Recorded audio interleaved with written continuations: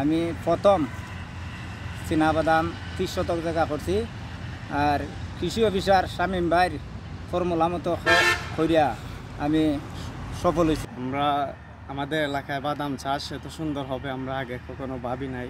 কৃষি অফিসার শামীম ভাইয়ের পরামর্শে আমরা এই বাদাম চাষ করেছি, চাষ করে দেখলাম আমাদের খুব সুন্দর বাদাম হয়েছে। আধুনিক প্রযুক্তির মাধ্যমে সিলেট অঞ্চলে কৃষি উন্নয়ন প্রকল্পের আওতা চীনাবাদাম প্রদর্শনী করার জন্য আরফান ভাইকে পরামর্শ দিই। সেই সুবাদে আরফান ভাই এই চীনাবাদাম চাষ করে। আর এই বাহুবল উপজেলায় নতুন বাদাম চীনাবাদাম চাষ করা হয়েছে, অনেক কৃষকের আগ্রহ হয় না। অনেক চেষ্টা করে পরামর্শ দিয়া চীনাবাদাম চাষ করাইছে। এবং এখন এই বাদামের ফলন দেখিয়া অনেক কৃষকরা আগ্রহ হইতেছে বাদাম চাষ করার জন্য। এবং আমার কাছে পরামর্শ চাই।